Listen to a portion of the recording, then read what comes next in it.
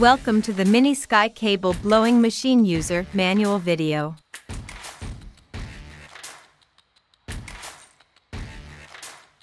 In general, our cable enters from here, comes to the metering part, and then proceeds to the driver part through the belts and comes to the place where the pipe we call the output part is.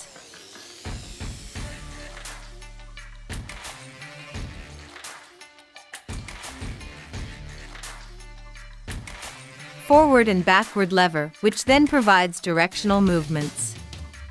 Our next attachment is the part of adjusting the air pressure entering the engine. Here you can change the pressure setting as you wish.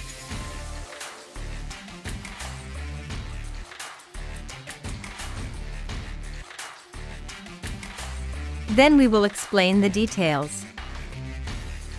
In this part that we call the pipe outlet chamber and where the cable and the pipe meet comes together.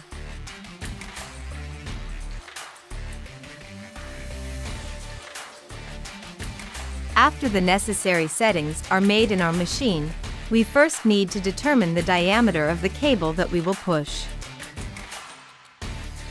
After that we will select 7mm nut ring, which is suitable for our 7mm cable.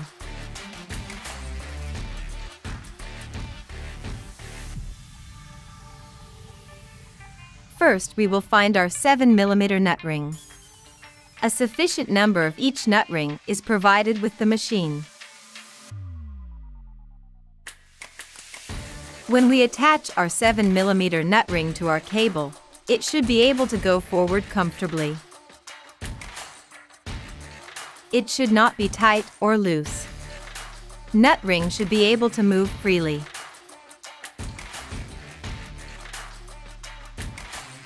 Choosing the right nut ring is important.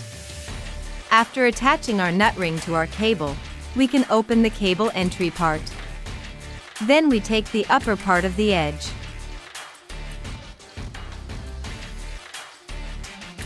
choosing the right belt is very important. When choosing the right belt, you need to adjust the correct belt according to your cable diameter beforehand.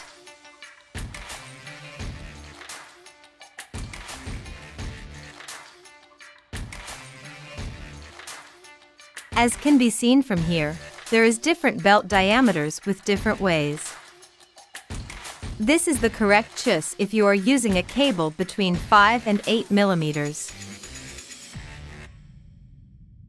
This will be the right choice if you are using cables between 12 and 16 millimeters.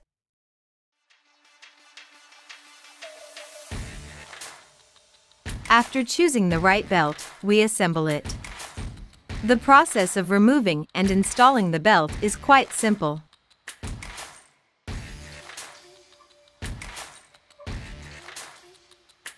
First of all, get the two Allen sets that come with the machine from your key bag. First of all, I open the Allen ring inside.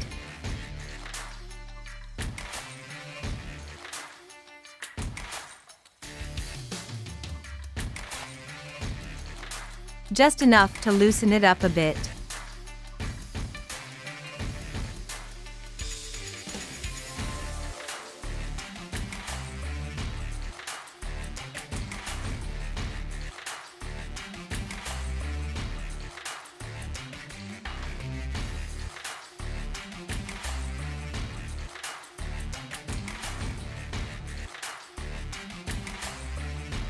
We do the same at the bottom. Then we get the other Allen key.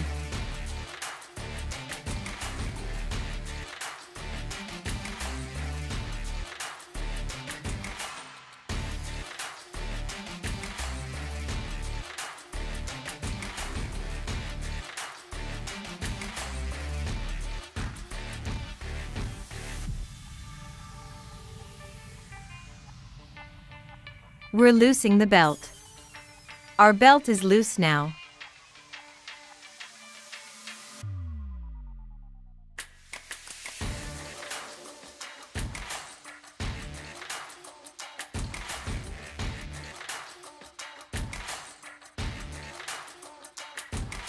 Then we pull it forward and put on our new belt.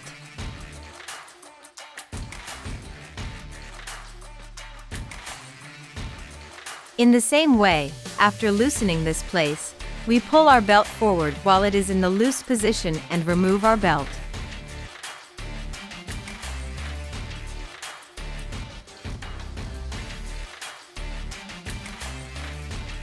Likewise, by pushing forward, we can move it bidirectionally and easily replace our belt.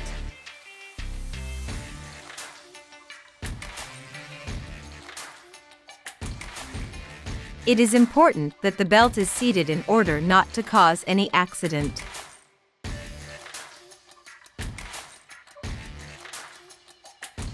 Now we're tightening it.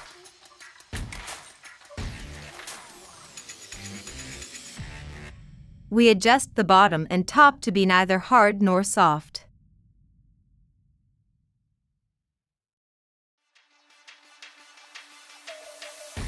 It's pretty tough. After bringing it to the right position, we tighten the bolts that we loosened.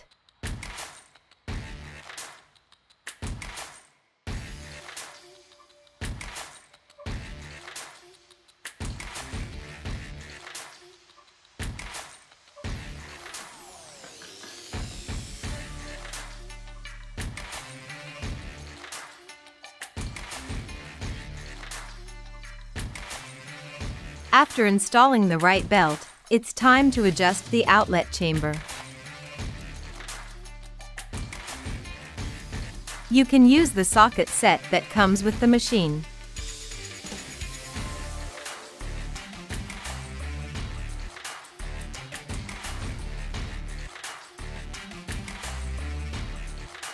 I unscrew the screws in order.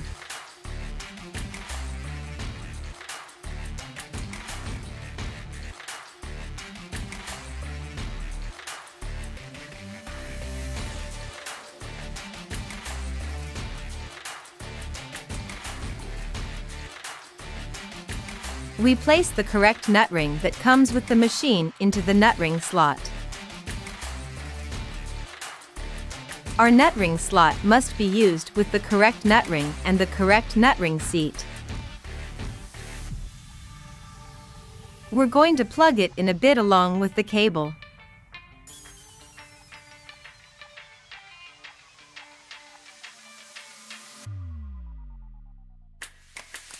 There is an O-ring bed under that part for airtightness. In this section, I put the part with the O-ring bed you see on the bottom, and then we press our O-ring into the channel in reverse to ensure that fit it correctly. After choosing the right cable bearing, we need to choose the right tube bearing. If you are using a 14 gauge pipe, you must use a 14 gauge pipe diameter that comes with the machine. We determine our pipe diameter.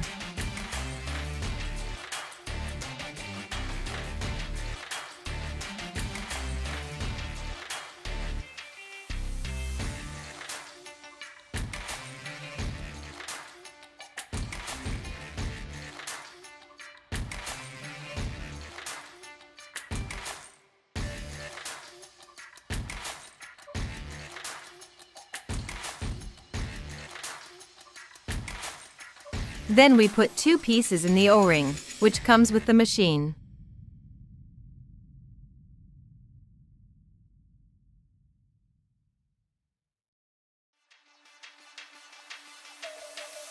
This is how we place it horizontally. After that we will drive your cable internally, this will be done in the next step.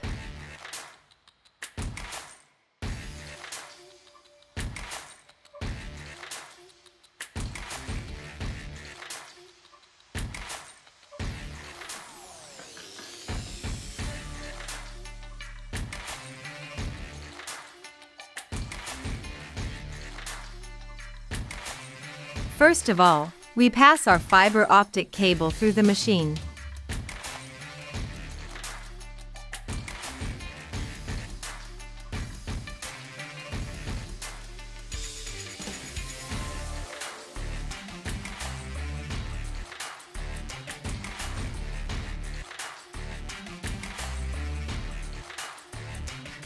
We lift it up a little and release it. As you can see, when I turn the valve, it moves in two directions. After making this opening, we can pass your cable from the side or in the middle if we wish. It ensures that the cable is fully fit in the channel. After the cable is fully fit in the channel, we close our cover.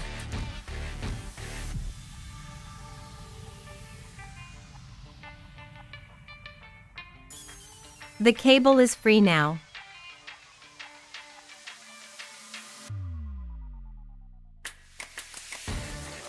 We harden it, but not too much. Go on. It's still not enough. Belts should catch the cable, please note that belt's pressure should not be too much.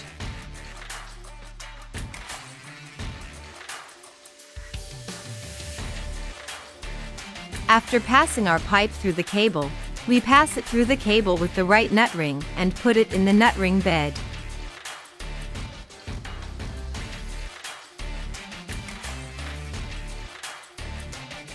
The inside of the nut ring should face look forward.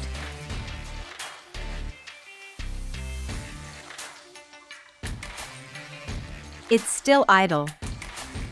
It's neither tight nor too stiff.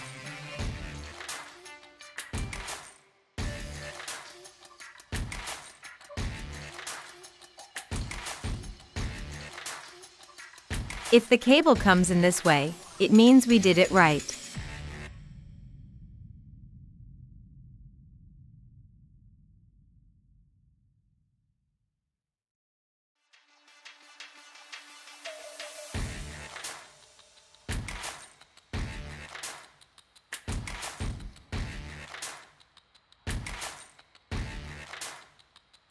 And we close the cover then we come to the exit part.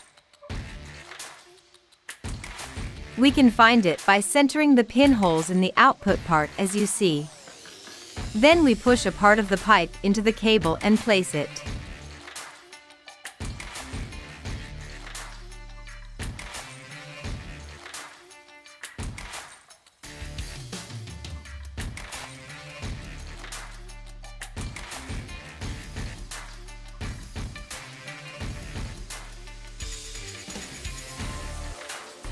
It looks like this inside.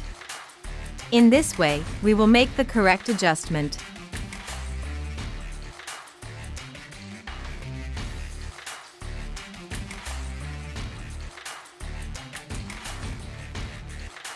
And I'm closing our lid I tighten it, we put on the second cap. And then we begin to tighten the adjusting bolts.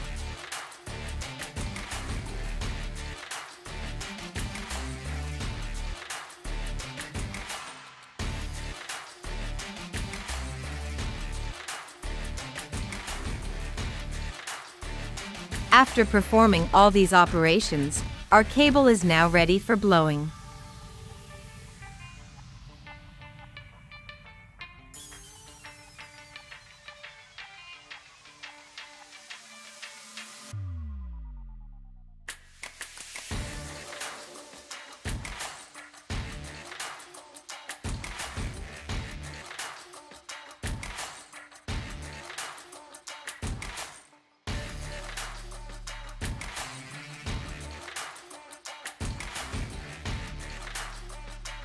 I can adjust your engine pressure from here. You see, it's decreasing right now. We can increase it by turning it clockwise. I can lock it by pressing it when it gets to the point.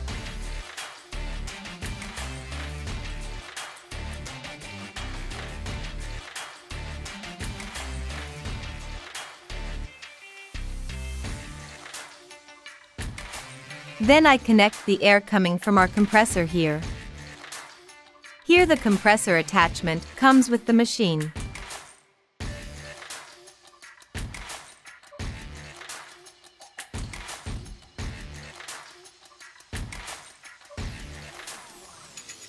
We pull it back.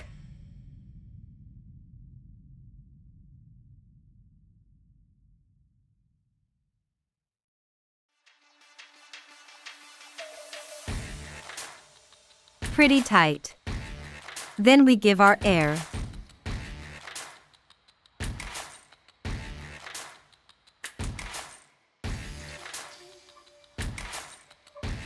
With this valve, you can control the amount of air going into the pipe. You need to supply enough air to the pipe. The amount of air you will give varies according to the diameter of the pipe. The minimum amount of air you need to deliver in a pipe with an outer diameter of 14 millimeters. 12 bar is air pressure ranging from 1 to 2 cubic meters. The more air you give, the longer you push the cable.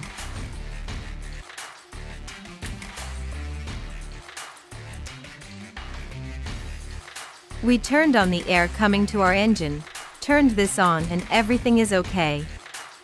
We are now pushing our cable by doing the forward operation.